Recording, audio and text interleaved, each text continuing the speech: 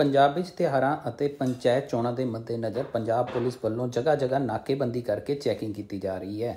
SSP Sangrur ਵੱਲੋਂ ਖੁਦ ਇਹਨਾਂ ਨਾਕਿਆਂ ਤੇ ਜਾ ਕੇ ਪੁਲਿਸ ਦੇ ਨਾਲ ਸ਼ੱਕੀ ਵਾਹਨਾਂ ਦੀ ਜਾਂਚ ਕੀਤੀ ਜਾ ਰਹੀ ਹੈ। ਐਸਐਸਪੀ ਸੰਗਰੂਰ ਨੇ ਦੱਸਿਆ ਕਿ ਪੰਚਾਇਤ ਚੋਣਾਂ ਅਤੇ ਤਿਉਹਾਰਾਂ ਦੇ ਮੱਦੇਨਜ਼ਰ ਇਸ ਤਰ੍ਹਾਂ ਦੇ ਨਾਕੇ ਲਗਾਏ ਗਏ ਹਨ ਅਤੇ ਹਰ ਤਰ੍ਹਾਂ ਦੇ ਸ਼ੱਕੀ ਵਾਹਨਾਂ ਨੂੰ ਬਰੀਕੀ ਨਾਲ ਜਾਂਚ ਕੀਤੀ ਜਾ ਰਹੀ ਹੈ। ਅੱਜ ਆਪਣੇ ਜ਼ਿਲ੍ਹਾ ਸੰਗਰੂਰ ਦੇ ਵਿੱਚ 35 ਥਾਵਾਂ ਤੇ ਵੱਖ-ਵੱਖ ਨਾਕੇ ਲੱਗੇ।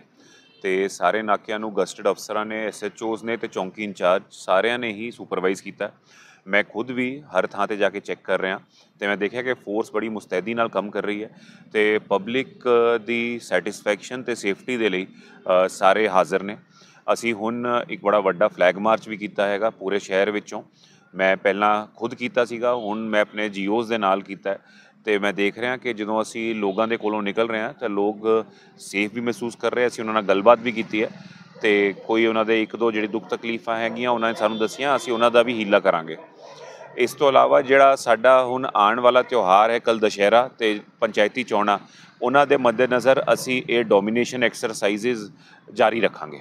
ਸਰ ਜੇਕਰ ਜਿਸ ਤਰ੍ਹਾਂ ਬਾਰਡਰ ਏਰੀਆ ਲੱਗਦਾ ਹੈ ਆਪਣਾ ਕੁਝ ਹਾਲ ਤੱਕ ਕੋਈ ਰਿਕਵਰੀ ਹੋਈ ਹੈ ਜੀ? ਕਿਸ ਤਰ੍ਹਾਂ ਦੀ ਕੋਈ ਜੀ ਸਾਡਾ ਹੁਣੇ ਤੁਸੀਂ ਦੇਖਿਆ ਹੋਵੇਗਾ ਕਿ ਕੁਝ ਦਿਨ ਪਹਿਲਾਂ ਸਾਡਾ ਆਪਰੇਸ਼ਨ ਵੀ ਚੱਲਿਆ ਸੀਗਾ ਤੇ ਉਸ ਦੇ ਤਹਿਤ ਸਾਡੇ 3 ਦਿਨ ਪਹਿਲਾਂ ਪੰਜ ਰਿਕਵਰੀ ਦੀ ਐਫ ਆਈ ਆਰ ਸੀਗੀਆਂ ਤੇ ਹੁਣ ਵੀ ਸਾਡੀ ਅੱਜ ਵੀ ਰਿਕਵਰੀਜ਼ ਹੋਈਆਂ ਨੇ। ਹਰ ਰੋਜ਼ ਲਗਾਤਾਰ ਹੁੰਦੀ ਜਾ ਰਹੀਆਂ ਉਸ ਦੇ ਬਾਰੇ ਅਸੀਂ ਪ੍ਰੈਸ ਨੋਟ ਰਿਲੀਜ਼ ਕਰਾਂਗੇ ਦੋ ਦਿਨਾਂ 'ਚ ਉਹਦੇ ਬਾਰੇ ਤੁਹਾਨੂੰ ਸਾਰਾ ਉਹਦੇ ਡਿਟੇਲ ਦੇਵਾਂਗੇ।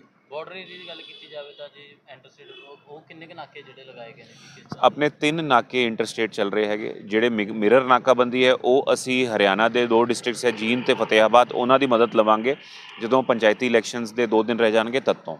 ਉਹ ਪੰਚਾਇਤੀ ਚੋਣਾਂ ਨੂੰ ਲੈ ਕੇ ਸਰ ਕੋਈ ਏਰੀਆ ਫਾਈਂਡ ਆਊਟ ਕੀਤਾ ਗਿਆ ਜਿਹੜਾ ਕੋਈ ਸੈਂਸਿਟਿਵ ਲੱਗਦਾ ਹੋਵੇ ਜਿੱਥੇ ਕੋਈ ਖਦਸ਼ਾ ਹੋਵੇ ਵੀ ਇੱਥੇ ਕੋਈ ਮਾਹੌਲ ਖਰਾਬ ਹੋ ਸਕਦਾ? ਅਸੀਂ ਆਪਣੇ ਸੈਂਸਿਟਿਵ ਬੂਥਾਂ ਦੀ ਲਿਸਟ ਬਣਾਈ ਹੈ। ਉੱਥੇ ਡਿਪਲੋਇਮੈਂਟ ਵੀ ਵੱਧ ਹੋਏਗੀ।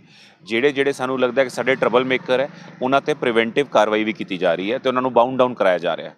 ਕਿੰਨੀ ਕੁ ਫੋਰਸ ਹੈ ਜਿਹੜੀ ਤਾਇਨਾਤ ਕੀਤੀ ਗਈ ਹੈ ਜੀ ਆਪਣਾ ਇਲੈਕਸ਼ਨ ਨੂੰ ਲੈ ਕੇ? ਇਲੈਕਸ਼ਨ ਦੇ ਵਿੱਚ ਤਾਂ ਆਪਣੀ ਤਕਰੀਬਨ 2000 ਬੰਦਿਆਂ ਦੀ ਡਿਪਲੋਇਮੈਂਟ ਹੋਊਗੀ ਜਿਸ ਦੇ ਵਿੱਚੋਂ ਕਾਫੀ ਵੱਡੀ ਤਾਦਾਦ ਵਿੱਚ ਰਿਜ਼ਰਵ ਫੋਰਸ ਵੀ ਲਾਈ ਜਾਊਗੀ।